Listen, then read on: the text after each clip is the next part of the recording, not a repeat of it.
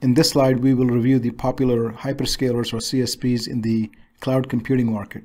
As most of us know, the major players in the market are AWS from Amazon, Azure from Microsoft, and GCP from Google. Together, these three CSPs make up of the majority share of the overall cloud computing market.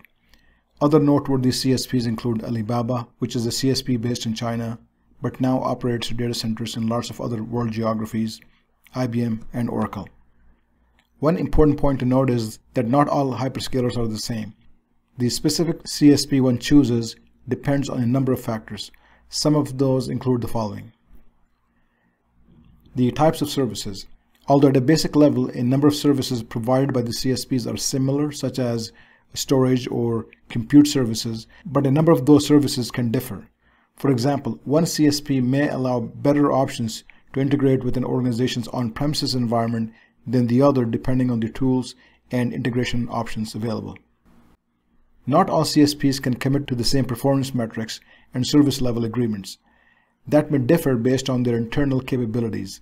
So an organization's choice of a specific CSP would depend on the services needed and any specific business requirements regarding the need for any level of performance that they may require from the cloud provider. Another key consideration usually is the geographies where the CSP operates and has data centers. For example, anyone deciding for a particular CSP will need to check the proximity of the data center of the CSP to ensure that their specific applications can be accessed easily by themselves and their customers.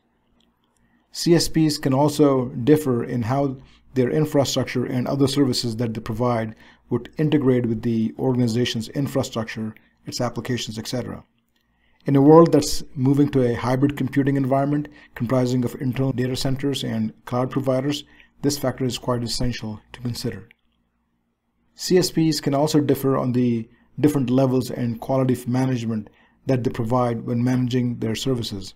For example, one service provider may provide an easier way to its users to manage how they provision infrastructure services, how they scale them, how they're charged, etc. Another consideration is that of CSPs having specific regulatory certifications. Most cloud providers are trying to comply with various regulations, which makes it easier for customer organizations, CIOs, to assess their risks in moving to such providers.